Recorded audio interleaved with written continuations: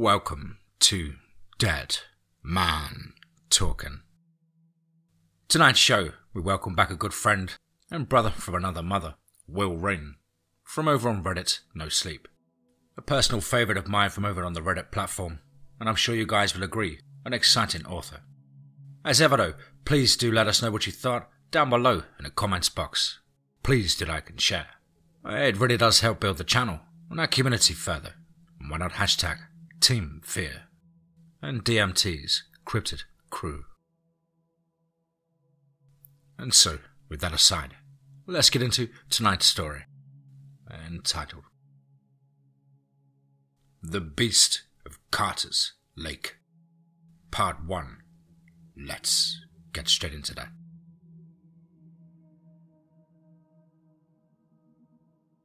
Have you ever been truly scared? Now, I'm not talking about some drunk driver cutting you off in traffic and causing you to slam on the brake and damn near crash into a ditch kind of thing. But that surreal and visceral terror that makes you question what is even real anymore. Sort of fear. That I'm looking into the eyes of the thing that will end my life. Kind of horror. Okay, that may be a little bit on the nose, but you get what I'm saying, right? Well, even as I write this, my fingers are shivering like it's 20 below in my house. It's been a few days, but I'm still processing it, while barely having been able to sleep a damn wink since that night. When I do sleep, just about all I see is those damned eyes, cutting their red and glow through the trees, or just one of them peering through my window, just waiting for me. Uh, Jill and I met at a party a few months back, and we've spent almost every day together since. The fact that my name is Jack brought our mutual friends a lot of laughs, but it could get annoying at times. My buddy Darren has a cabin out in the woods, out near Carter's Lake, and we were spending a long weekend with him and some other friends. And we did a good bit of hiking over those days, to which we would return to the same jokes practically every damn time. So, uh, did Jack and Jill go up the hill? Darren would ask with a smile. Oh, God damn it, man. Did you both have a buck and a quarter? He squeaked out in between chuckles. yeah, yeah, yeah. I came down with 250. Jill replied with a sigh. And of course, Darren's wife Sarah, her brother Dane, and his husband Blake all cracked up, while I joined my girlfriend in her exhausted sigh. It had been funny at first, what, twenty times or so? But Christ, it was getting old. Still, it had been a fun weekend to that point, even with the endless stream of the same lame punchlines at our expense. The cabin itself was absolutely gorgeous. Two floors, five bedrooms, each with its own bathroom, a wide wrap-around deck with a hot tub, and the works. Darren came from a wealthy family, but he never shoved it in our faces or anything. I have a basic 9 to 5 gig, and Jill was a nurse, so, so neither of us had the most comfortable and carefree lifestyle. But it was nice to spend some time amongst the far more financially stable. Not to mention, we were able to stay in this beautiful place rent free and so membership does have its privileges, I suppose. Uh, we've been out there since that Thursday, and so we were only two days into our five day stint at Le Chateau du Daron, as he liked to call it. As we approached that Saturday night, my buddy handed me one of his numerous credit cards and asked if I'd mind making a liquor store run. He told me he wanted a bottle of Glenlivet, a few cases of Killian's Irish Red, and whatever else Jill and I may want. Well, who was I to refuse? He even tossed me the keys to his Hummer, which I'd been dying to take for a spin. Now, the cabin was nestled pretty deep into the woods, and the road that led to and away from it only barely qualified as an actual road. But the thick tires of the Humvee handled it so much better than my little Honda. It took me half a mile or so to get the feel for it, especially with it being at least twice the size of my tiny Civic. But before I knew it, Jill and I were hauling ass in the direction of the far better paving of the main road.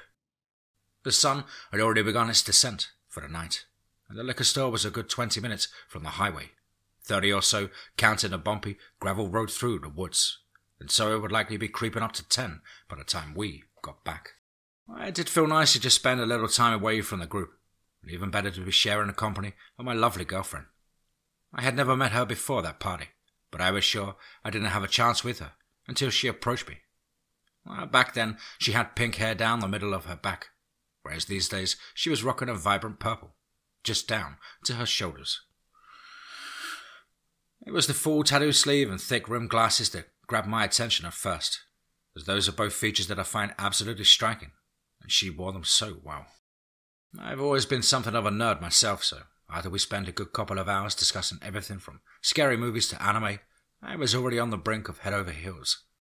I'm just a shaggy haired dork from a small town on the other side of the state, so I could never expect it to have met someone who checked out every single box I look for in a partner.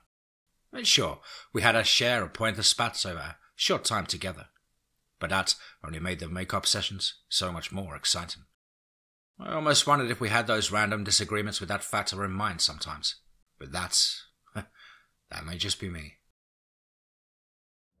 As we pulled up to the intersection of the highway, it was probably the first time I noticed the sounds. We had the radio blaring for most of the ride while we got awfully tempted to sing along. But I'd always had a strange habit of turning down the volume at intersections, especially the busier ones. I don't worry, I haven't got some long winded backstory about some five ton dump truck I didn't hear because the radio was too loud or anything. It's just something I've always done since I started driving. Ah, whatever the reason, that's when I heard the howling. Though I'm not entirely sure if that's what I'd call it, to be honest. We've been hearing plenty of wildlife over the previous days and nights, and so I don't know why this one jabbed a fork into my spine, but something about it, I don't know, felt off somehow. I didn't know if there was any wild dogs or wolves in that area, but I'd heard anything from birds chirping to squirrels squeaking around the cabin. There was the occasional barking, but I just assumed that to be some distant neighbour's pet or something. If this wailing, gargled howl had come from a dog, it was from a breed I had never seen or heard before, and it sounded to be a veritable beast of one too. Uh, you hear that? Jill asked, looking as alarmed by the noise as I did. Ah, freaky, right? I replied, attempting to sound unfazed, regardless of the fact it sounded as though it came from maybe yards from where we'd part, waiting for a break in the traffic. A wounded animal, you think? Uh, maybe so. We'll keep an eye out when we come back, yeah? She just nodded before I turned onto the highway, cranking the radio back up to drown out any other potentially unnerving sounds. I still couldn't say why that random wail got me so shaken up. In all honesty, for one reason or another, something about it seemed like it was directed at us. If that even makes the slightest bit of sense. It felt like it was threatening us, in a way like the old haunted house movies, with Get Out painted across the walls in thick blood, dripping down the drywall. Of course, I may well have been overreacting. My mother always told me I was far too imaginative for my own good, and so I tried to push it to the side, for the time being, while continuing on our quest for a trunk load of booze. As predicted, it was getting close to ten by the time we arrived back at the slender, open into the gravelled road, and as much as I enjoyed driving Darren's Hummer, I was ready to kick back and just relax. And Jill was shifting in her seat, looking equally as tired of being on the road. I raised my hand to turn the volume down on the radio before deciding not to follow through with my intersection ritual for once. The traffic had quietened down considerably, and so getting back onto the rougher path went much smoother on the return trip, though I could swear I could hear that awful wailing again as soon as the front tires hit the gravel. I was sure it had just been my head, until my girlfriend gave me a sideways glance before wrapping her fingers around my hand, resting on the center console. Uh, we didn't verbalize our concerns this time, though our vehicular karaoke had not resumed since we hit the main road a good forty minutes before. When Jill screamed out, after we had only been back on the road to the cabin for a few minutes, I down there slammed the Hummer into a tree. Jesus! I yelled, fighting to keep control of the heavy vehicle. Did you see that? Jill asked through the heavy breaths. Uh, see what? Uh, what's wrong? The eyes. Uh, did you see them? What eyes, babe? They were right next to us. Bright red eyes. Just, just. Her words were cut short when another wailing howl echoed from seemingly right behind us. What the fuck is that? I asked, knowing full well my girlfriend had as few answers to give as I did. We were both freaked out, while I pressed the pedal down with much more intensity than I felt comfortable in both a vehicle I wasn't used to, as well as a road I didn't know too well, I suspect we were on the same page. Neither of us knew what the hell was out there, nor did we particularly want answers to that. I had to pull my hand free from her grasp to focus on keeping a heavy and wide SUV from drifting too far to one side or the other. But the next howl that caused me to jump and scream out sounded as though it was only feet from us, at most.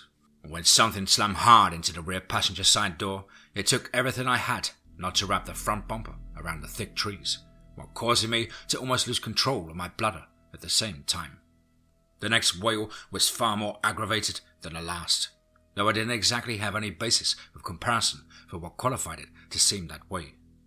The next assault, this time against the door I sat directly beside, forced me to lose my ability to keep the wheels pointed in the right direction, causing us to careen to the right.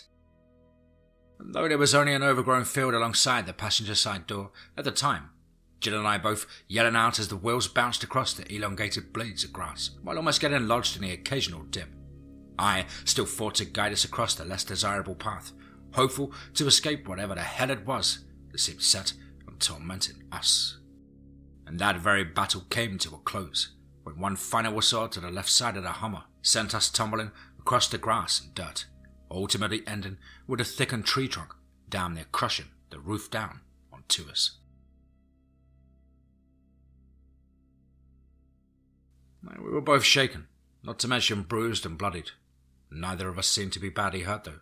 It was just hard to get a full idea of our injuries, hanging by our seatbelts in a half crushed Humvee. We were trying to make as little noise as possible, while we were to unbuckle ourselves. But I, for one, was certain that whatever knocked us from the road would be unlikely to leave it at that.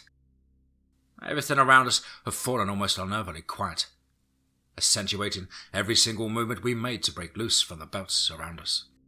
The smell of the varying types of alcohol filled the cab, almost causing me to feel a little nauseous, even if I hadn't ingested a drop.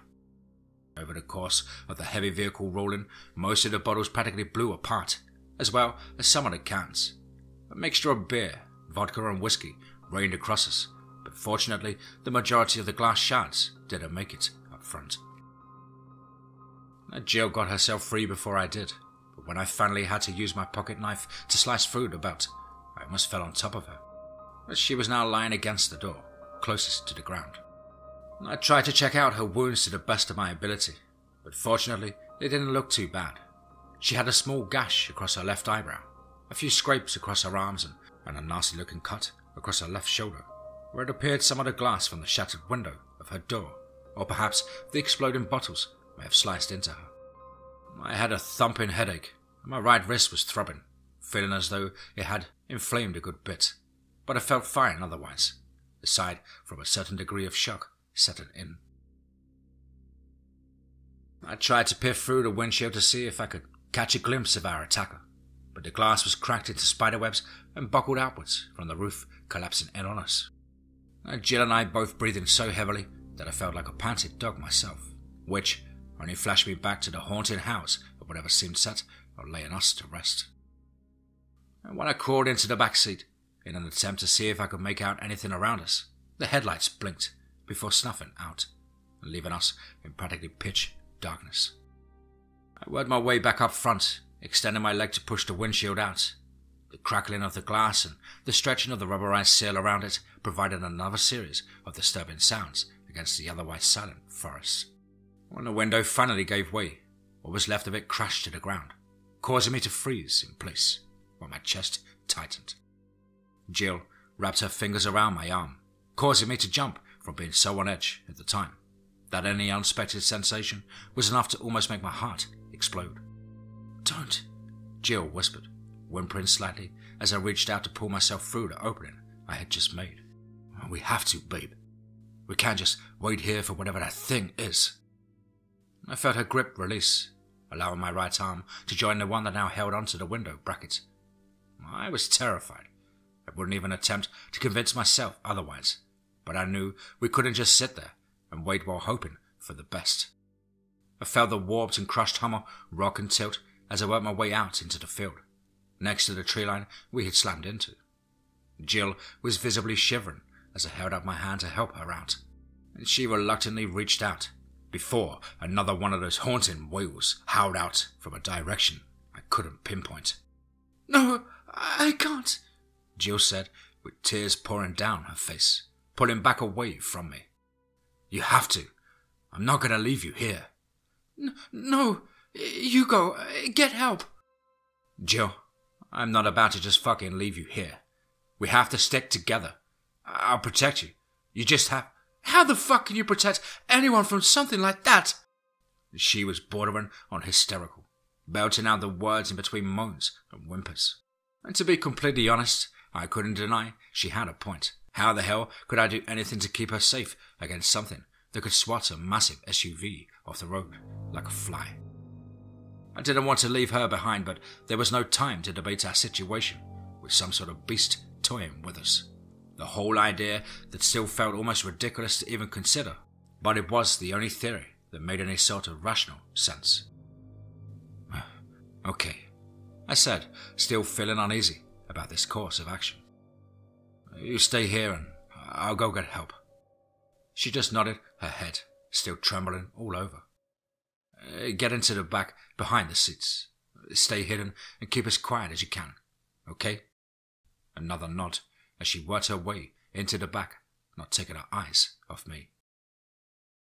I didn't like this. I didn't like leaving her behind, but it would seem I had little choice in the matter. I looked around while fishing in my pocket for my phone. To my amazement, it was still functional, though the screen had a few new cracks. You got yours? I asked. She looked stunned for a moment before leaning back towards the front seat and feeling around for her purse. I called halfway back in to help before she finally grabbed onto the strap. And just in front of where she had been sitting, she pulled out her untarnished phone, looking back at me with a strained smile. Anything happens, you call me, okay? She let out a heavy and stuttered sigh. Huh? No service. It fucking figures. She chuckled, but it was about as phony as a laugh could sound. Ah, God damn it, I said, with what felt like an even more forced and falsified giggle. Just go. Uh, I'll be okay here. I'll be back as soon as I can, okay? I'll bring help, one way or another. And she nodded again, before. I love you. Passed through her lips. We still hadn't spoken those words to one another, but I can't deny that they had been lingering in my mind for a while now. And of course, I had most certainly hoped for a far better situation to reveal these feelings, but it still made a warmth spread through me I hadn't realized was lacking from my extremities at the time. I love you too, I said with a far more enthusiastic smile than I knew myself to be capable of. She beamed back at me, and that alone lit a fire under me to find a way to get us both through this in one piece. We just looked at each other for a few more moments until she shrank away behind the side of the passenger seat. You stay hidden, no matter what you hear, if it sounds like hellfire is raining down around you, don't even think about coming out. She didn't speak, only raised her upturned thumb from behind the seat back. Were it not for the circumstances, I would have found it sort of cute, but I needed reassurance on this. Baby, I need you to promise me. Yeah, I hear you. I promise, whispered from the back. My heart was jackhammering as I turned to face whatever lay ahead of me still feeling quite lost amongst the foreign surroundings. Fortunately, my eyes had grown somewhat accustomed to the darkness, and with the crescent moon above lending a hand. I still couldn't figure out why whatever had attacked our vehicle had suddenly taken it upon itself to disappear. But I wasn't about to let my guard down. I gripped the hilt of my pocket knife so tightly that I felt as though I would dig my fingernails into the flesh of my palm. I was sure it would offer little protection against something that could so easily force a heavy SUV from the road. But it was my best and only defense at the time. And I crept onwards, still trying to remain as quiet as possible, which was no easy task with discarded branches and dried out leaves lining the ground beneath the grass, even in the open field I was crossing to seek out the road that led back to the cabin. I had no way of knowing how far I would have to walk to get back there, but I was sure I was closer to that than the highway we left in the dust. When I was finally able to make out the gravel road, The open field led me to another section of dense forest.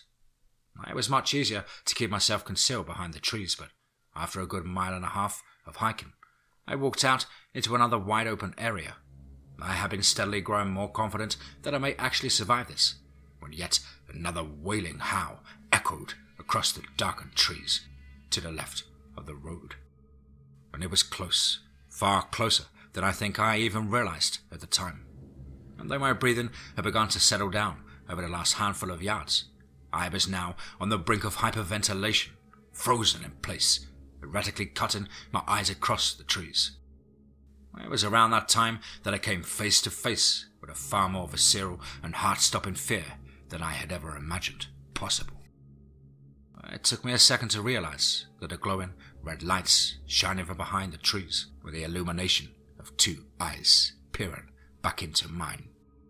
I heard a gnarled growling sound that came from just below where the twin glowing eyes softly lifted and lowered, as though whatever they belonged to was panting with heavy breath. I could feel the blood draining from my face, while the nausea of gazing into mortality churned in my stomach. And as the rough growl grew more aggravated, the eyes sunk lower, giving me the image of something preparing to pounce. Ah, this is it, I thought. This would be where I meet my end. When it happened so quickly that my mind could barely grasp what I had seen. The rumbling and gargled sound blended with the snapping and shattering of branches and bark. And when the behemoth burst from the trees right at me, I screamed out, feeling as though the throbbing veins in my temples were about to erupt, squirting a healthy stream of blood to each side. I brandished my small pocket knife as though I was wielding Excalibur itself, when in reality I had a fucking three inch blade trained on what looked to be about ten feet of darkened fur and muscle speeding right at me. I felt my body soaring backwards through the air after a giant hand swatted me across the chest. I knew something was broken when I made contact with the ground, but I was in so much shock I had no way to know what had snapped, only that it hurt like a son of a bitch. I raised my dizzy head to see the thing charging right at me on all fours. It looked like an enormous wolf, though its eyes still shone that eerie glow, illuminating the elongated, wrinkled snout, while thick drool slobbered from its gaping maw. I had no time to get back to my feet and so I rolled forward, swinging my pitiful little blade through the air before me, just in time to make contact with something. I don't know where on the beast I hit, but it let out an ear-piercing squeal that almost caused me to reach across the grass I'd perched on. And before I had a chance to react, the thing leaped from behind me, disappearing back into the trees. I looked down at my trembling hand to see thick, dark blood dripping from the short blade along with a chunk of black fur wedged into the hinge of the folding mechanism. Run, you dumb bastard! The voice in the back of my mind yelled out at me, though I still knelt in place with my mind reeling. Fucking move! I lifted myself, feeling no strength from the legs that twitched and shivered, before I convinced them to start running. My chest was burning, but I had no time to investigate how strongly the blood was flowing from the gashes left in the wake of the claws that cut through my shirt and skin. Everything hurt from my back to my legs, along with what I assumed to be a broken rib or four, as they stabbed into my insides as I forced myself forwards. And as my side split, I almost allowed myself to slow down until another anguished and angered howl bellowed out from behind me, convincing me to push through the pain that almost caused me to break. The agony had almost grown impossible to tolerate, but I wouldn't let up. Not only had I royally pissed the thing off, but I still had to find a way to get back to Jill, who I prayed to God was still alive. Maybe twenty or thirty feet ahead, I saw a familiar ridge, which, if memory serves, was right at the edge of my friend's property. My painful sprint had slowed considerably, especially since I was now running uphill, hopefully towards salvation. I reached the top of the ridge, where the ground leveled back up again, to sure enough see the lights from Le Chateau du Daron, just ahead in the distance. My lungs were practically begging for me to allow them to relax for even a second, but when I heard that growling, panting wheeze coming from behind me, accompanied by four heavy feet beating against the surface of the ground. I had to force them to work much harder than I had up until this point. I screamed out through my straining breath, pleading with as much effort as I could for my friends to hear me, as I forced one foot in front of the other. There are no words to truly describe either the amount of pain I was in or the true and horrifying fear that I was experiencing as I heard those weighted paws trample the earth beneath them. I just kept yelling out and practically squealing the words, Help me! over and over until I finally saw the door open ahead of me. Ah, who the hell's out there? Darren's voice called out. It's Jack! God damn it! Help me! Jesus Christ! I heard call out as I neared the cabin, with my feral pursuer sounding closer to me by the second. I was so close, but I just knew I would be torn to ribbons by the time I reached the open door. I could feel the foul breath and sticky saliva spritzing across the back of my neck, while the jagged bones still worked and ripping through my insides. When I heard the panting only inches from my ear, a gunshot rang out through the night before a second caused another shrieking squeal to wail out from almost right beside me. Just before I fell onto the wooden steps of my friend's front deck, I heard those scampering feet quietening more and more as they sped away, back in the direction I had fled from. I stared up at my friends, who had all gathered up on the patio, feeling a sense of indescribable gratitude before everything went black.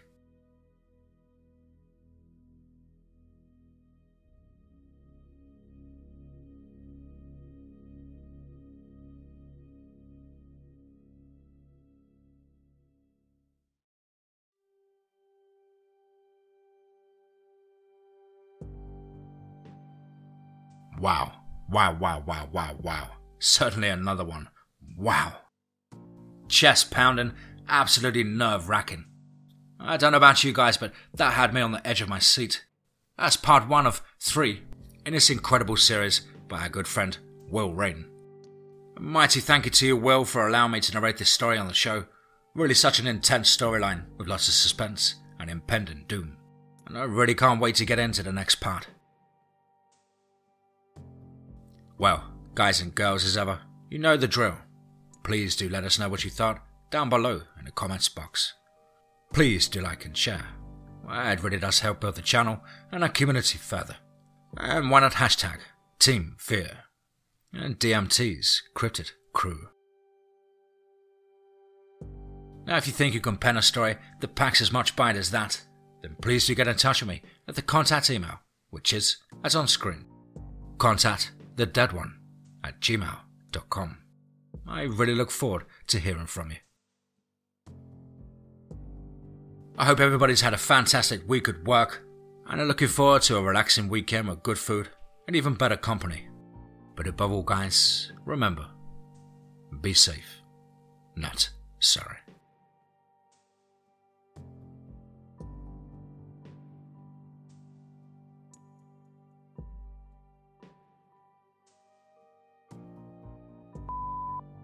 That very battle came to a close when one final was sought to the left. I just had a shaggy haired dog from a small town on the other side. A Will Rayne from over on Reddit. No sleep. No sleep. Tonight's. Tonight's. Jill and I both breathing so heavily that I felt like a panting dog myself which only flashed me back to the whole. Fucking hell. Jill. Jill. Jill. Jill. Jill. Jello.